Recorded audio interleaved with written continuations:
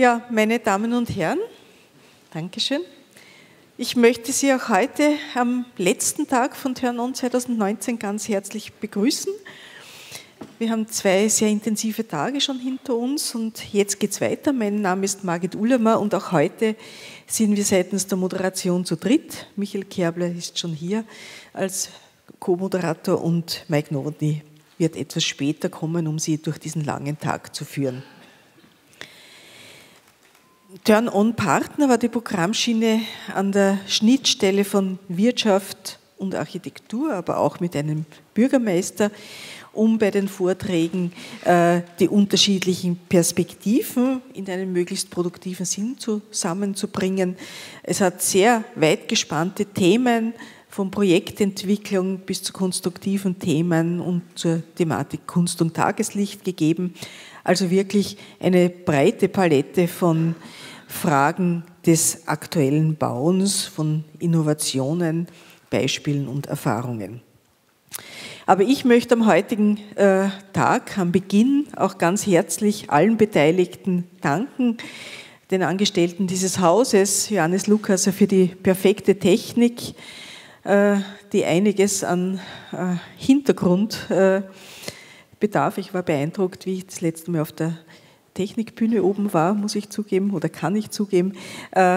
Ja, bei meinen Assistentinnen im Foyer und so weiter, bei allen Leuten des Hauses, bei den Technikern des Funkhauses natürlich auch. Und ich möchte mich bei Christian Kühn und bei Arno Ritter bedanken. Sie sind ja seit vielen Jahren mein Beirat für die Gestaltung und Fixierung des Programms am Samstag das ist ein sehr ausführlich kuratiertes Programm, diese 15 Vorträge, nicht nur was die ausgewählten Architekturbüros anbelangt, sondern auch was die ausgewählten Bauten betrifft. Also es steht da eigentlich nichts zufällig im Programm, ist auch mit einem großen Aufwand verbunden und Christian Kühn und Anno Ritter unterstützen mich eben da bei der finalen Auswahl. Vielen Dank an die beiden. Ich darf jetzt auch gleich Christian Kühn auf die Bühne für seine Begrüßung bitten, nicht so sehr als äh, Beiratsmitglied äh, eben für diese Auswahl, sondern als Vorsitzender der Architekturstiftung Österreich, die ja seit vielen Jahren als Veranstalter von Törnern auftritt. Bitte, Christian. Danke. Ja, herzlich willkommen auch von meiner Seite, eben in meiner Rolle als Vorstand der Architekturstiftung Österreich. Die Architekturstiftung ist eine gemeinsame Plattform der österreichischen Architekturvermittlungsinstitutionen, also vom Architekturraum Burgenland im Osten bis zum Vorarlberger Architekturinstitut plus ähm, Zentralvereinigung der Architekten. Ähm, das Ziel dieser Stiftung ist Vernetzungsarbeit zwischen diesen Institutionen auf der einen Seite, auf der anderen Seite auch Vernetzungsarbeit in die Politik, in die Wirtschaft, Lobbying für gute Architektur zu machen und das eher auf der Nachfrageseite der Architektur ansetzend. Also unser Interesse ist, dazu beizutragen, dass es gute Bauherren in diesem Land gibt, Leute, die sich was wünschen von der Architektur.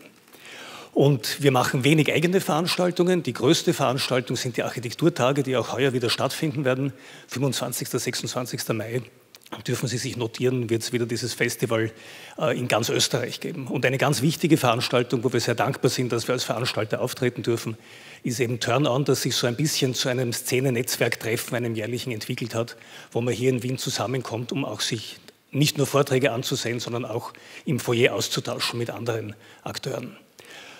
Der heutige dritte Tag von Turn On unterscheidet sich von den beiden anderen insofern, als wir gestern und vorgestern immer Teams auftreten haben lassen.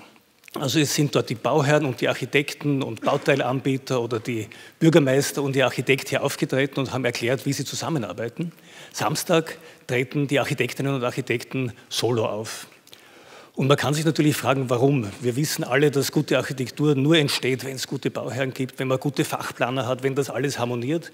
Und trotzdem, sagen wir am Samstag, kommen die Architektinnen und Architekten selbst auf die Bühne und erzählen nur sie über ihre Arbeit. Das hat schon einen Grund meiner Ansicht nach, weil Architektinnen und Architekten verantwortlich sind für Dinge, die man nicht messen kann.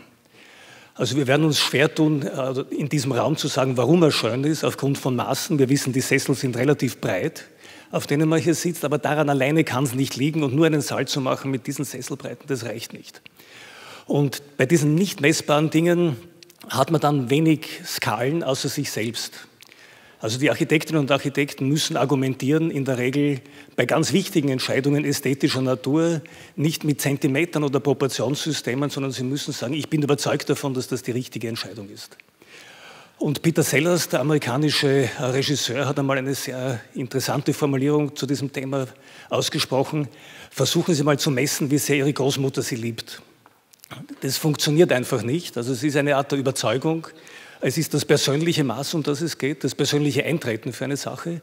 Und das werden Sie heute Nachmittag bis in den Abend hier erleben, dass Architekten eben eintreten müssen und Architektinnen für die vielen, vielen Entscheidungen, die sie bei jedem Projekt treffen müssen, von denen viele messbar sind, aber sehr viele auch einfach keine Skala haben, auf der wir uns rational unterhalten müssen, sondern da geht es um Imagination, um Fantasie und Qualitäten, die extrem wichtig sind für die gebaute Umwelt, die aber nur außerhalb des Messbaren sich realisieren können. In dem Sinn wünsche ich Ihnen spannende Vorträge, viele neue Einsichten und ich übergebe jetzt wieder zurück an Margit Ullermann.